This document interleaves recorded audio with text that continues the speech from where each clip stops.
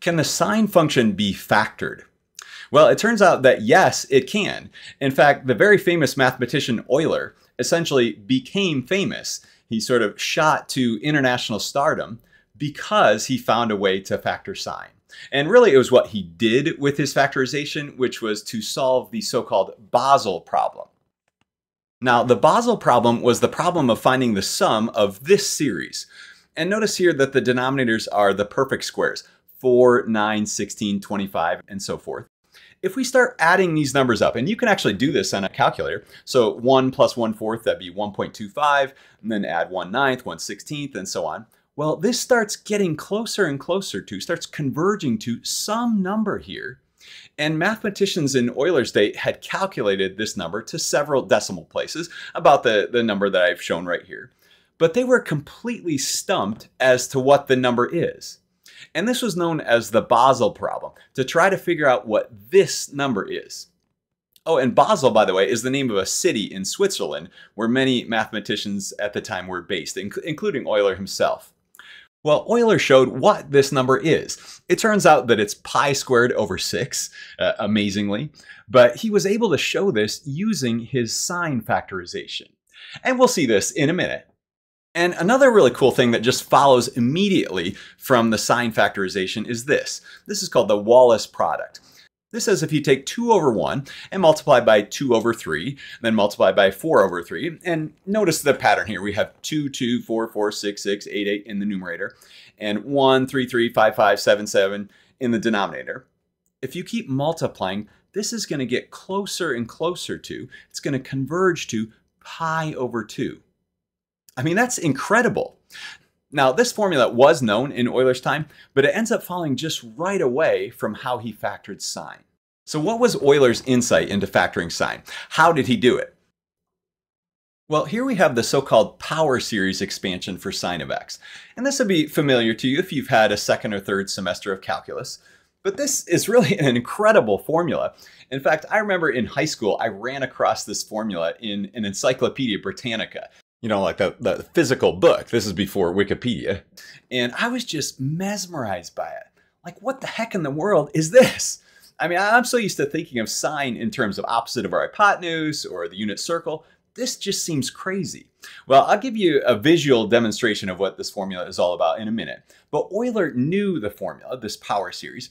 In fact, it goes all the way back to Isaac Newton, believe it or not. But Euler sort of thought of this power series as being almost like an infinite degree polynomial. Now, it's not a polynomial, of course, polynomials can't have infinite degree, but he reasoned that if we can factor polynomials based on their, their roots, their zeros, maybe we can do the same thing with sine, since we know what the zeros of sine are. Now, our first thought might be, well, since the, the zeros of sine are the multiples of pi, well, let's factor sine like this sine of x is x times x minus pi times x plus pi times x minus 2 pi times x plus 2 pi, and so on. But there's a real problem with this approach. And Euler knew about this problem and he had to fix it. So what's the issue? Well, if we let f of x be defined by x times x minus pi times x plus pi and so on, and if we just plug in a number for x, so it can really be any number other than a multiple of pi, let's just take 5. So what is f of 5?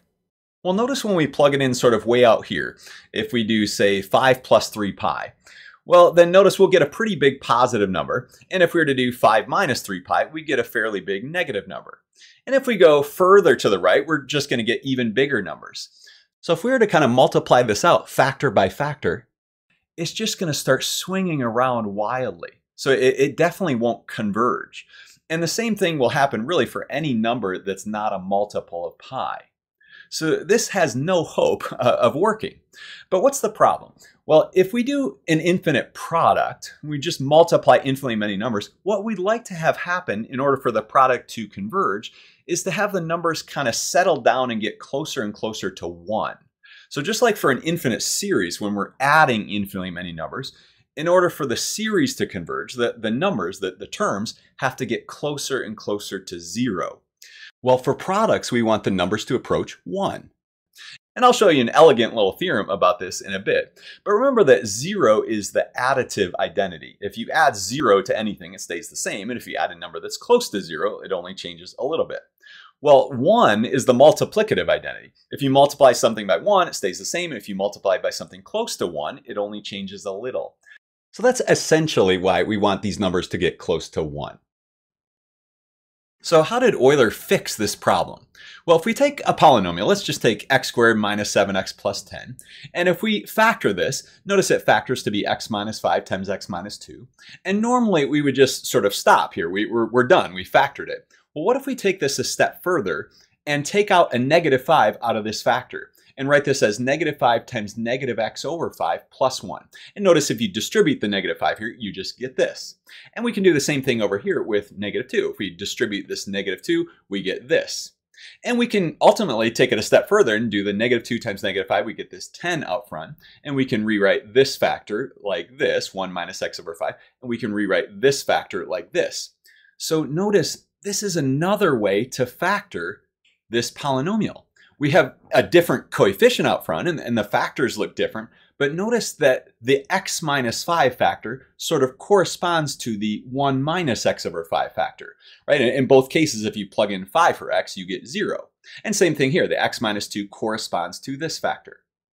So what Euler realized is that we need to have factors that look like this.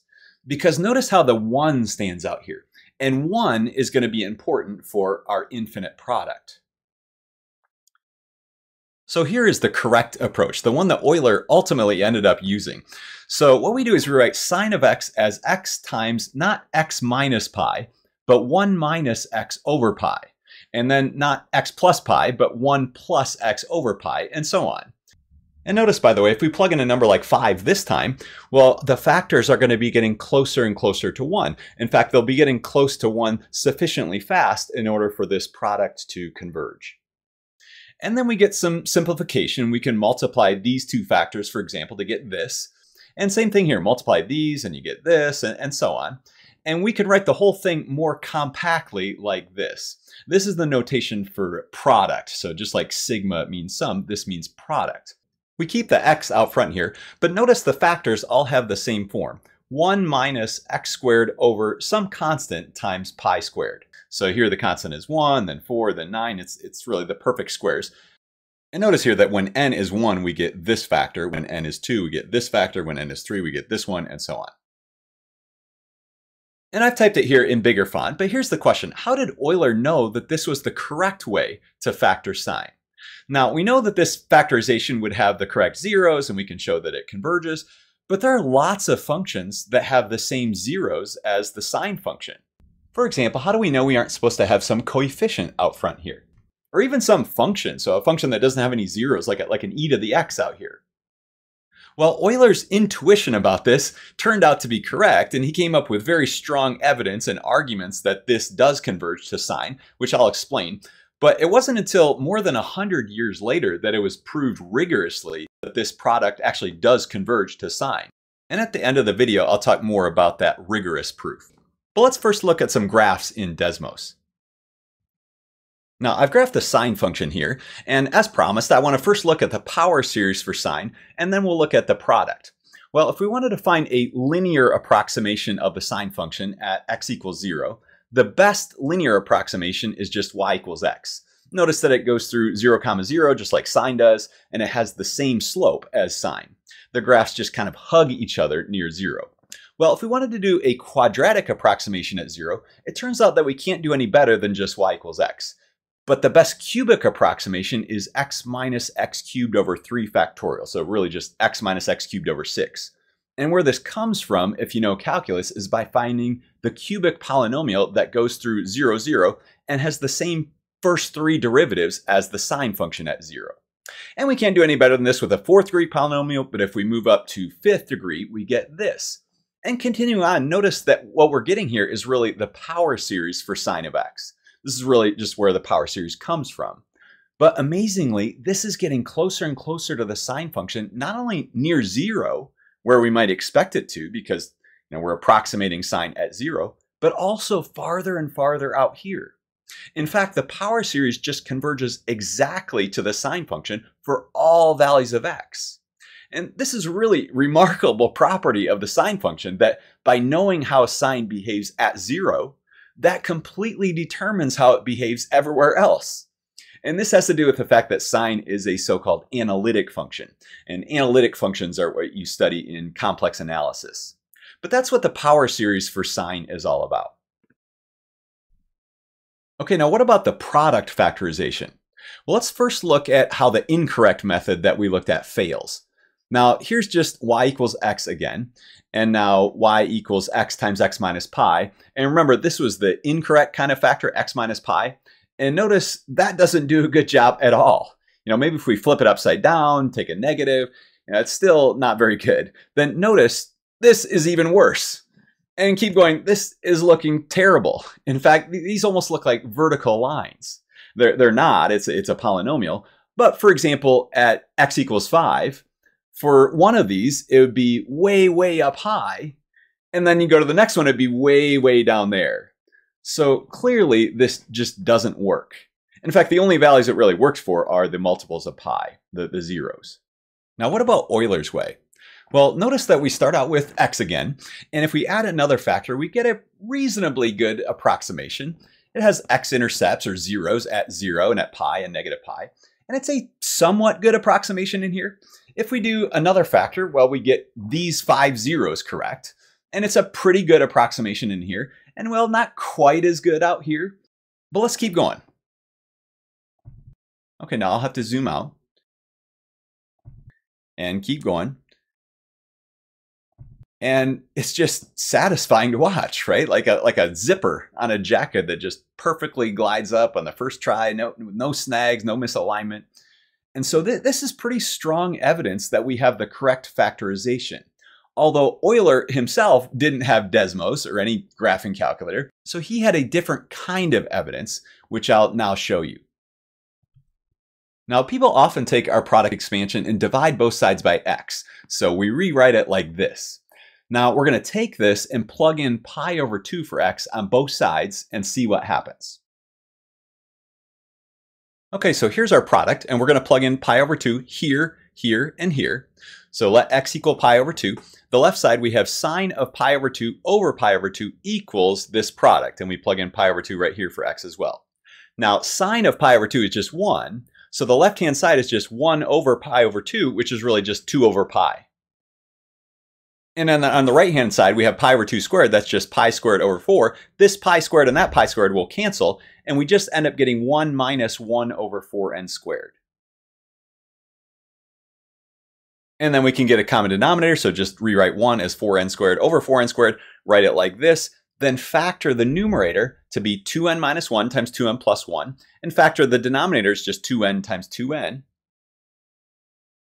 And then we can just start plugging in numbers for n. So when we plug in n equals 1, notice we get this, 1 times 3 over 2 times 2. When we plug in 2, we get this, 3 times 5 over 4 times 4, and so on.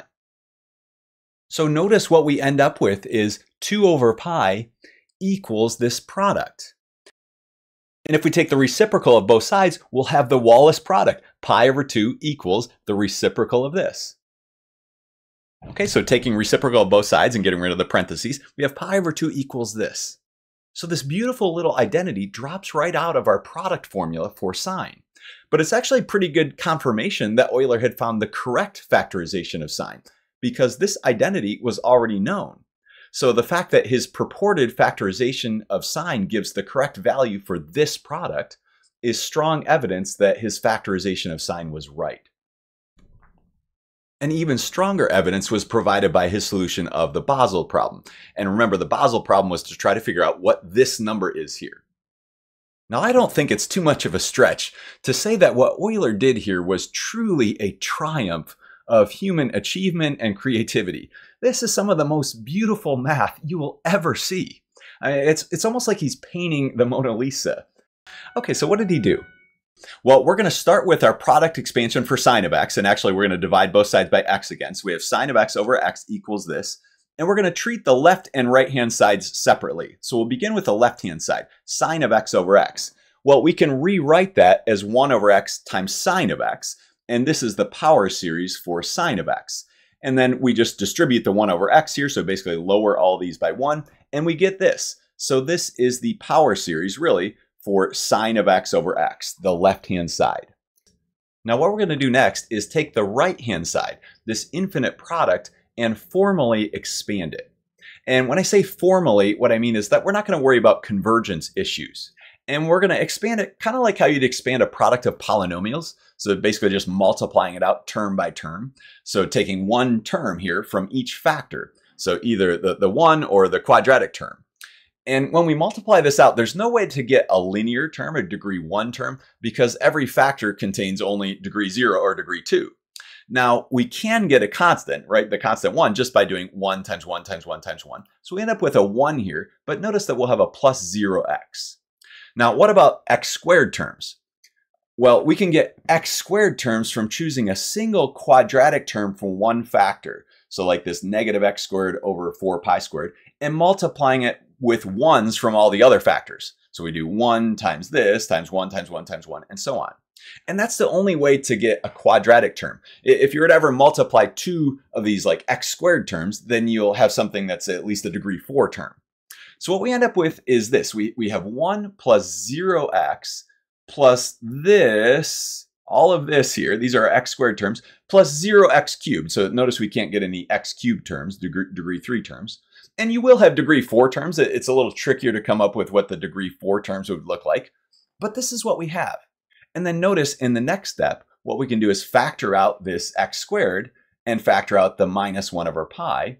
And notice what we have left here.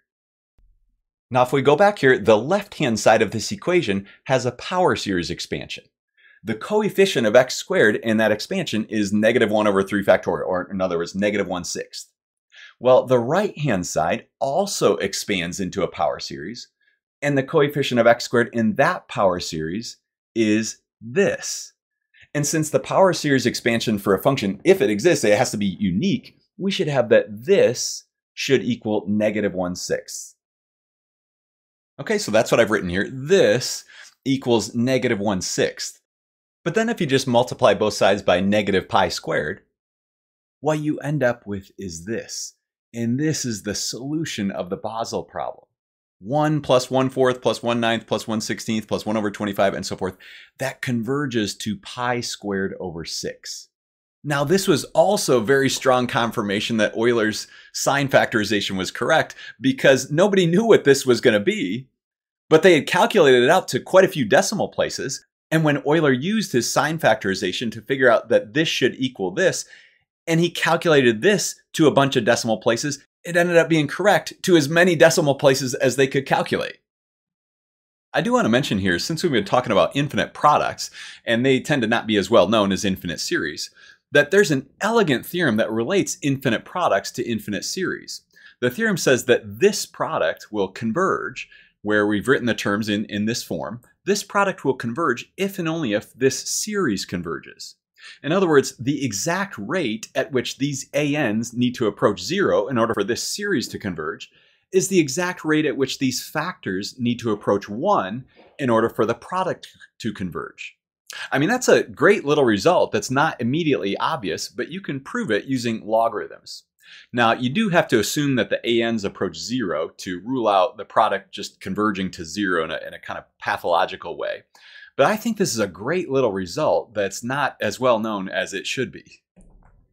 Now, Euler published his Basel solution in 1740, and this really shocked the world of mathematics, but he didn't actually publish a formal treatment of the sine product until a few years later. And it wasn't until more than 100 years later that Weierstrass and Hadamard fully and rigorously verified the sine factorization. So what Weierstrass did was to provide a general framework for writing entire functions as infinite products over their zeros, the so-called Weierstrass factorization theorem. And entire functions, by the way, are just functions that are differentiable in a complex sense uh, on the entire complex plane. Okay, they're, they're analytic on the whole plane. And Hadamard developed a growth theory of entire functions where you talk about the so-called order and type of an entire function. And this allowed Euler's sine factorization to finally be verified. But really understanding all the details would require a significant amount of complex analysis. But thank you so much for watching. I really appreciate uh, the support that you're watching. Uh, if you like the video or comment, uh, that's that's really great. I'm, I'm actually shocked that people are watching these things and I appreciate the help. I'm just uh, starting out this this channel, so it, really means a lot to me. So thank you for watching and have a good day.